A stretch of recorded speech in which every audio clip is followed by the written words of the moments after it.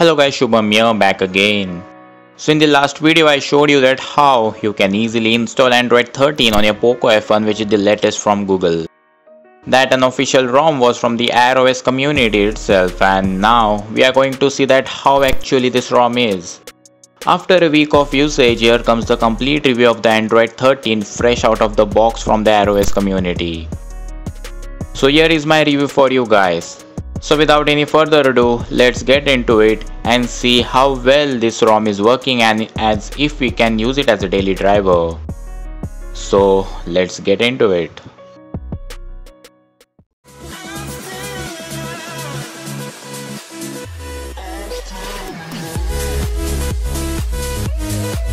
Now let's first jump into the system information. At the very first time as we usually do, moving towards the settings and about phone section, you can see this is the easter egg of Android 13 or Tiramisu. Uh, kinda funky though. Tapping on 13 you will get some different types of pattern which are some emojis of Google keyboard. Moving further you will get the latest security patch of 5th of August 2022 and a kernel version that is of ElectroPuff. Pretty much good and pretty much obvious as it's an official ROM. Now moving forward to the Android 13 features. Tapping long on home screen you will get some widgets. These widgets are somehow same as Android 12 but this is something new which is called as the battery widget where you will get all the stats of where your battery is getting consumed. It takes some time to reconfigure as uh, it configures your battery first. Moving further you will also get some clock widgets in which they have added these two new type of widgets. Tapping on it and drag it to the home screen you will get this widget on your home screen and yes you are good to go to configure what type of background you want that's a solid or a transparent one. I have set a solid one as per my preference and let's just have some small setup of how you can set up this thing. So now as per my preferences I have just took the Android 12 customized clock widget and selected the first pattern and boom this look pretty much amazing and good for appearance too. Moving further, you will get other customization that is a display under lock screen section where you can now actually change the kind of interface you get on the lock screen clock that is double line clock or a single line clock. So this is a single line clock uh, because of the notification on the lock screen you cannot see that but once the notification is gone you can actually distinguish there's a single line and a double line clock so that is pretty much good moving further this is something like now playing but uh, in this ROM it's not working so that's disabled. Moving further you will also get some customizations regarding wallpaper and style where you will get a whole lot of options. Themed icons where you will get your icons themed and also a way lot of colors regarding customization. They have included a color palette which is pretty much dynamic and you will have an immersive experience all over the interface so these are some small small tweaks which are worthy of noticing. And once you notice it you your eyes will just get rejoiced with the freshness you get on your device. Moving further this is something huge update that is a music visualizer where you can just set this thing uh, about uh, how to play this song. This you get in android 12 also but just just look at that ui it's so amazing and so fresh some kind of tweaks are done in it and it looks pretty much dynamic and pretty much good. So that's another feature.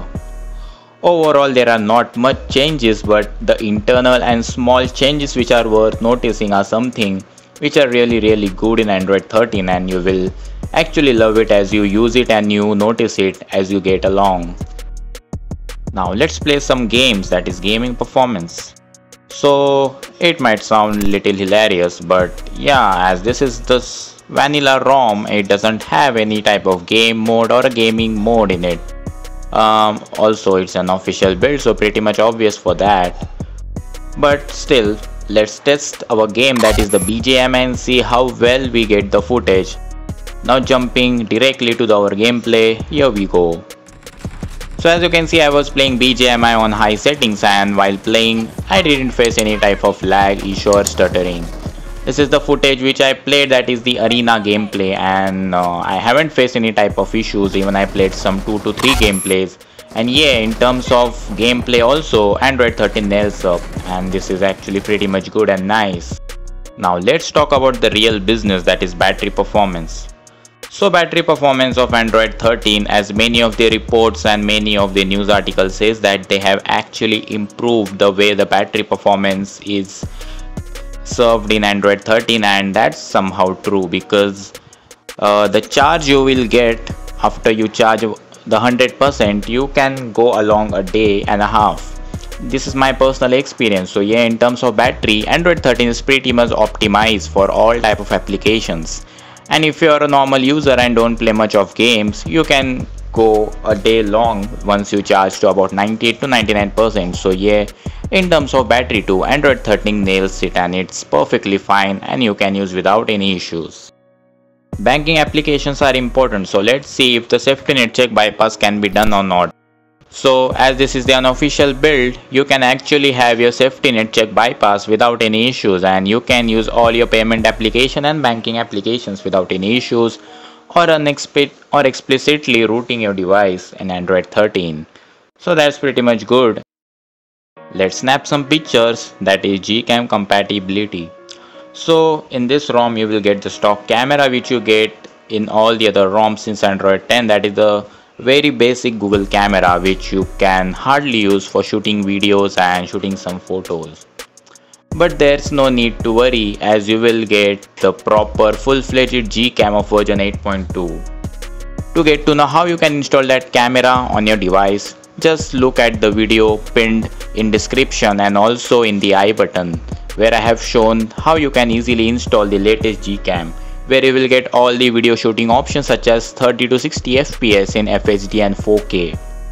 Thanks to the Snapdragon chipset that we can actually shoot the 4K videos on Poco F1 being so old phone. So yeah, in terms of that, you can have your Gcam compatibility with Android 13 and you're all good to go. Privacy concerns are legit, so let's see about security. So moving to the security, you will get all these latest security patches and Google Play security update. But talking about the security of your phone, then you will get a fingerprint unlock. You will not get the face unlock as they haven't configured it yet, so that's something lacking. Moving further, you will also get to enhance your sound via Mi Sound Enhancer or which is also called as Dirac Sound Enhancer. You can play all type of music as per your preference of equalizer and also choose the headphones and the preset you want. Moving further, this is something coming in Android 13 that is clear your speaker on which you will get a quite sneezing sound and which uh, actually says that it will clean your speaker. So that's something weird but it might be useful. So yeah in terms of sound and security that's all you get in android 13 now let's talk about some numbers that is Antutu scores. So talking about the Antutu scores then you will get a full-fledged Antutu score of unbelievable mark that is 3,93,154. So this is something huge as everyone knows in Android 12 ROMs the score usually lies in 32, 33 or max to max 34. But in this it's something increased thanks to the CPU which we get that is the Snapdragon 845 and also some other benchmark which makes Android 13 so much compatible with so old phone and it's working super smooth and fine with such numbers. So yeah, this is the Antutu benchmark for people who really want to see this. Now it's time for concluding this.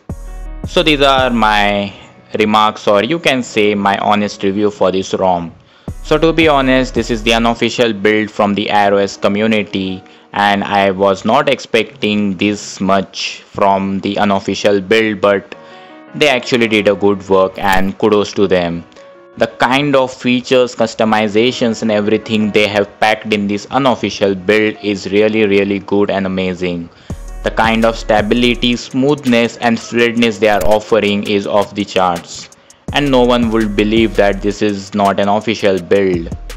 It works perfectly fine and all the Android 13 features are working super smooth and stable. No doubt you can actually use this ROM as a daily driver and for my site you can just download this ROM and flash it without any issues and use it. So that's it for this video guys. If you like this video must hit that like button and also subscribe this channel for more such updates upcoming. Until then see you again in the next one. Peace out.